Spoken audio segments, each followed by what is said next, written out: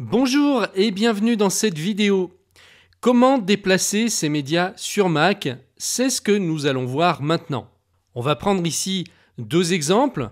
C'est ce qu'on va utiliser le plus souvent, c'est-à-dire photo et musique. Donc imaginons que je n'ai pas assez de place sur mon ordinateur pour contenir toutes mes photos.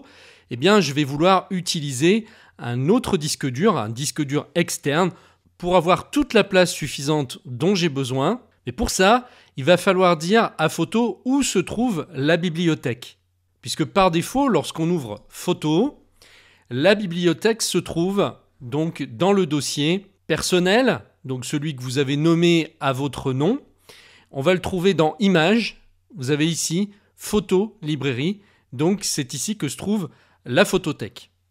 Donc maintenant, imaginons que vous avez énormément de photos, ça ne tient plus euh, sur le disque dur de votre Mac, eh bien, vous allez prendre un disque dur externe que vous allez euh, renommer. Alors, celui-ci s'appelle sans titre, mais je vais le renommer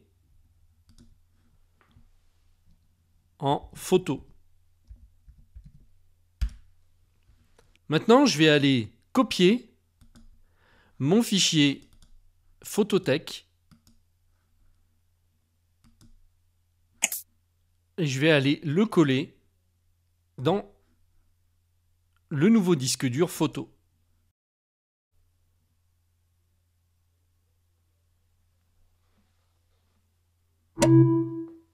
Donc on se retrouve avec la même bibliothèque qui a été clonée.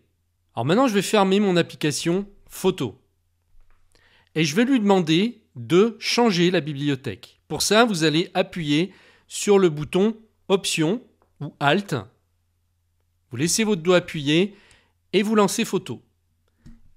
Ici, il a détecté que sur votre Mac, il y a bien deux librairies, donc euh, l'ancienne, la Phototech System, et la nouvelle que vous venez de créer. Donc vous sélectionnez la nouvelle, et vous voyez le chemin ici de la bibliothèque, c'est bien volume, donc pour désigner les, euh, les disques externes, photo, photo librairie. Donc je choisis celle-ci, et à partir de ce moment-là, je tourne sur ma nouvelle bibliothèque. Donc là, je suis sur le disque dur externe à partir de maintenant et non plus sur le disque interne du Mac. Maintenant, pour la désigner en tant que photothèque par défaut, donc photothèque système, il va falloir lui dire dans le menu photo, vous allez aller dans Réglages ici. Vous allez aller dans Général et vous allez cliquer sur Utiliser comme photothèque Système. Et là, vous avez un message d'avertissement qui vous dit si vous activez la photothèque système, photo iCloud est désactivée. Toutes les photos et vidéos dont le téléchargement est incomplet seront supprimées de ce Mac et les albums partagés seront désactivés. Activez Photo iCloud pour cette nouvelle photothèque système dans les réglages. Avant de valider l'opération, il faut être sûr que vous avez bien téléchargé votre photothèque dans sa totalité et dans les formats originaux. Sinon, il vaut mieux annuler. Je vous montrerai ça juste après avoir fait l'opération. Donc là, je vais cliquer sur OK. Le Mac a bien fait le basculement et désormais cette photothèque est celle de votre système par défaut.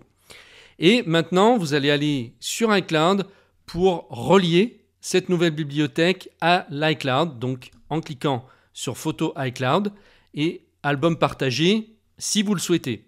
Et donc, c'est ce que je vous disais juste avant. Euh, il vaut mieux ici cocher télécharger les originaux sur ce Mac. Et ça, c'est l'opération que vous aurez à faire également avant de changer de photothèque.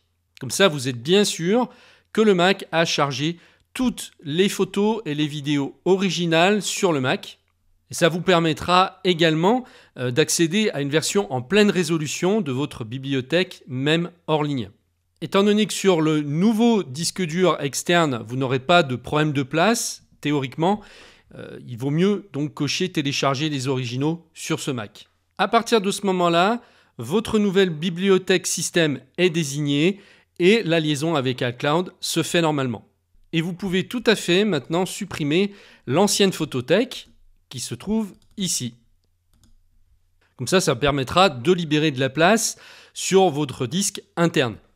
Pour aller plus loin avec votre Mac, je vous propose d'accéder tout de suite à la formation complète sur macOS. C'est une formation qui s'adresse à toutes celles et ceux qui veulent prendre leur Mac en main sans avoir à chercher et galérer pendant des heures ou des jours entiers pour le maîtriser. Elle vous est particulièrement destinée si vous débutez. Le but est que vous soyez opérationnel avec votre ordinateur avant la fin de cette journée en suivant simplement les modules vidéo réalisés. Pour y accéder, il vous suffit de cliquer sur le lien qui apparaît maintenant sur la vidéo ou juste en dessous dans la description. A tout de suite